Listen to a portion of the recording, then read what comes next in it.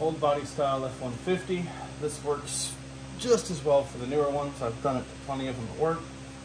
You notice I've got the front end up on a pretty tall set of jack stands for a little two-wheel drive, and you'll see why later on. We need some clearance under the A-arms.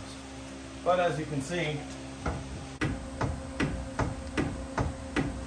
it needs ball joints. Turn your wheel over here. I don't know if it shows, watch the top ball joint. It's shot. Break this loose. 21 millimeter, 13 sixteenths, and then strike it right here as hard as you can repeatedly.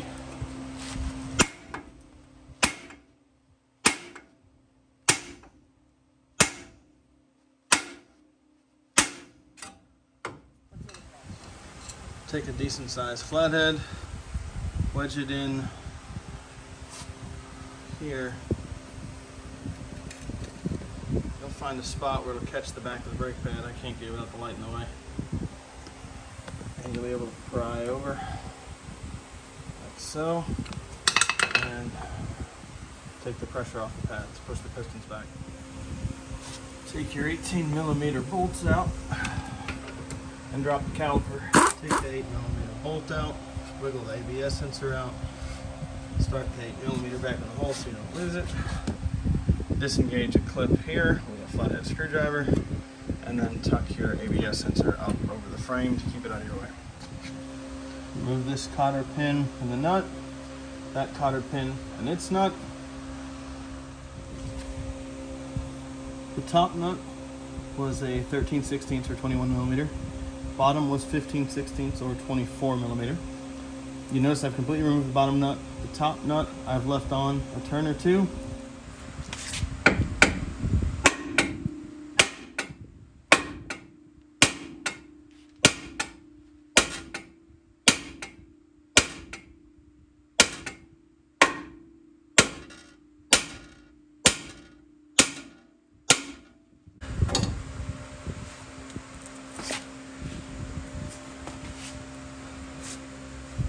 And once it's beaten loose,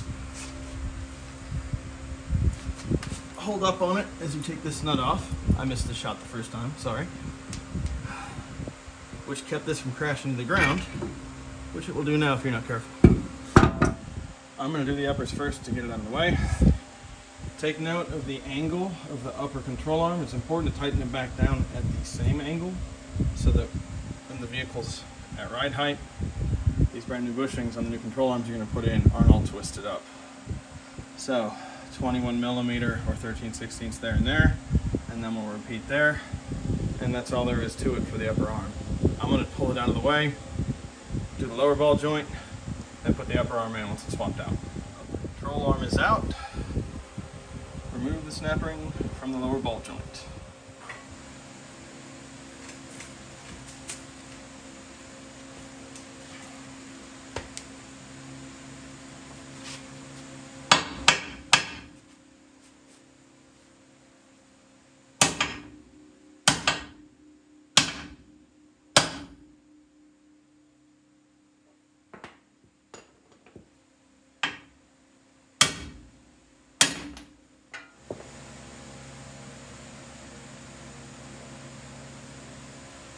Now if that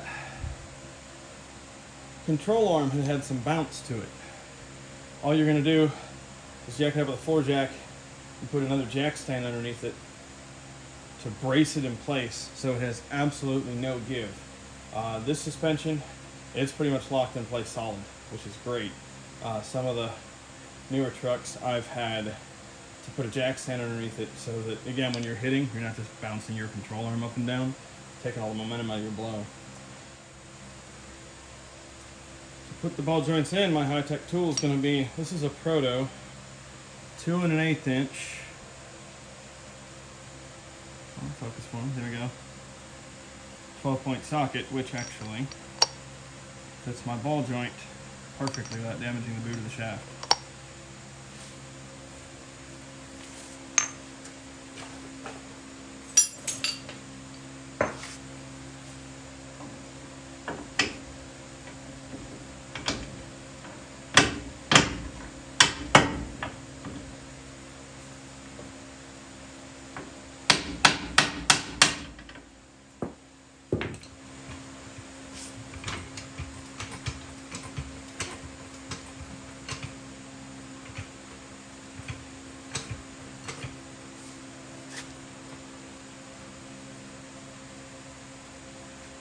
Gonna get some good weight on it.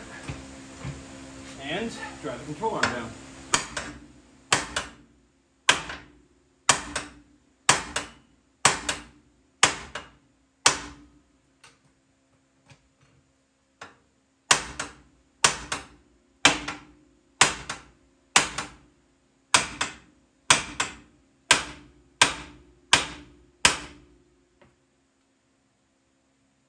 A little more.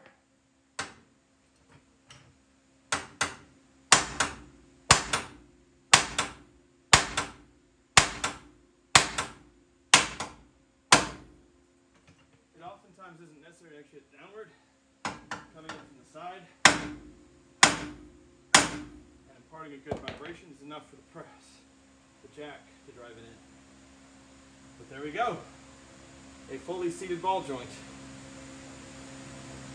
I should add that I have a ball joint press in this shop. And I do them this way because it's 10 times faster. I'd still be setting up the press to zip that thing apart. And I'm already done. Do everything I just showed you in reverse order, put it back together. You're done in about an hour aside if you take your time.